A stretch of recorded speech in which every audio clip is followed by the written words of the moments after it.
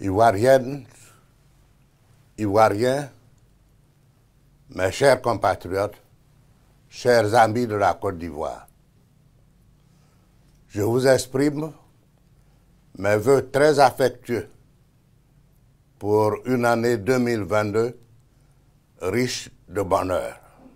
Mes voeux s'adressent à toutes les Ivoiriennes, à tous les Ivoiriens d'ici et de la diaspora, ainsi qu'à tous les peuples frères qui ont la Côte d'Ivoire en partage avec nous.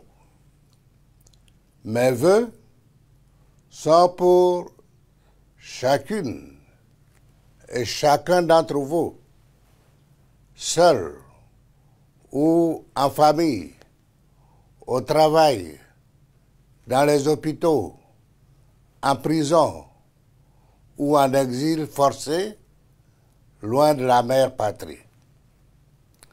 J'ai une pensée spéciale pour tous les compatriotes qui se battent, acteurs de la production, qui font de notre pays une référence sous-régionale en matière économique, sociale et culturelle.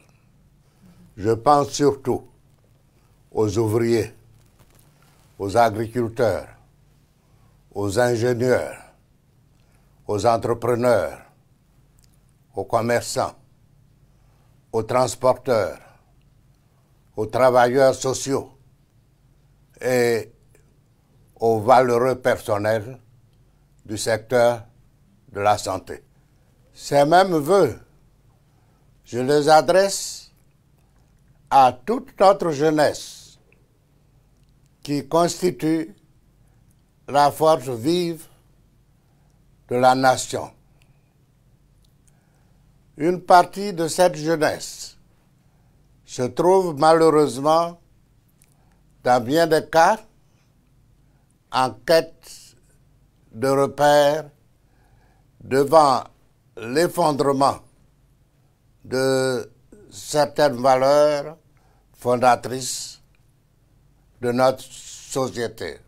Je n'oublie pas les vaillantes femmes des villes et des villages, les mères de notre pays qui restent le socle de nos familles pour une société plus équilibrée face à tous les défis quotidiens. À vous tous, j'exprime mes voeux de santé et de prospérité pour chacune de vos familles. À l'orée de la nouvelle année 2022,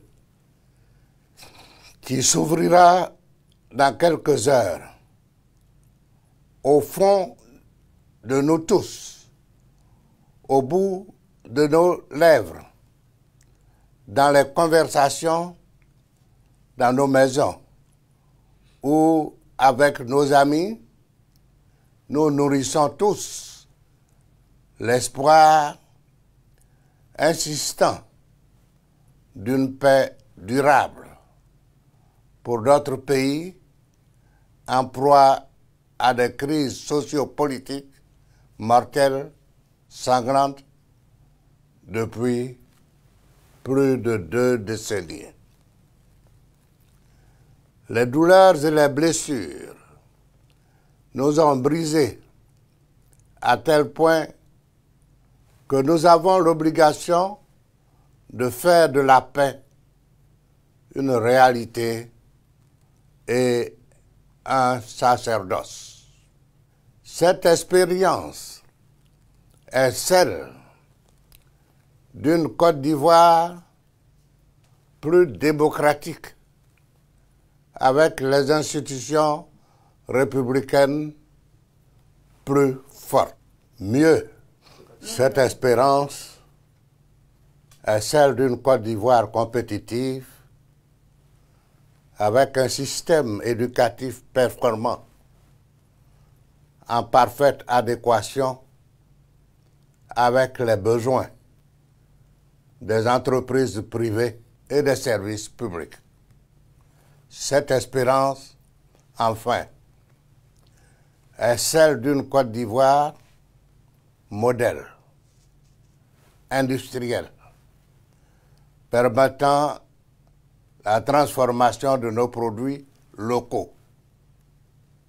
Oui, l'industrialisation reste la principale voie pour accroître la richesse nationale et absorber le chômage endémique de notre jeunesse.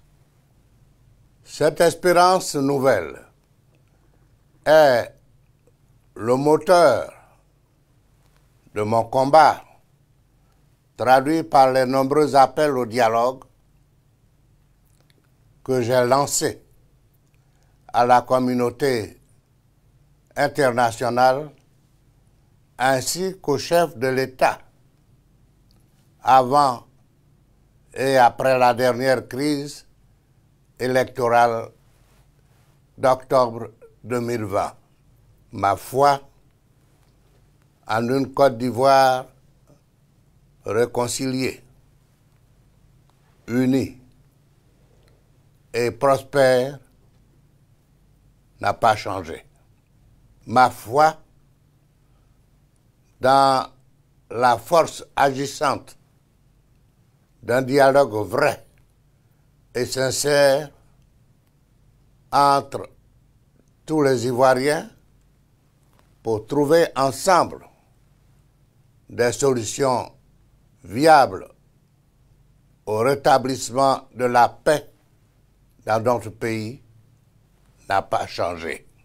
Comme je vous l'avais indiqué, je ne ménagerai aucun effort pour que l'amour que nous partageons tous pour la patrie domine nos intérêts partisans afin de nous permettre de bâtir ensemble une Côte d'Ivoire démocratique où l'état de droit reprend sa noble place.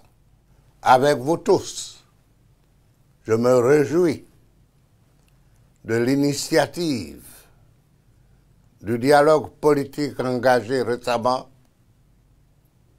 par le gouvernement qui, je l'espère, constituera une étape constructive vers un dialogue inclusif qui prendra en compte l'ensemble des sujets qui fragilisent l'expression du grand potentiel dont dispose notre pays.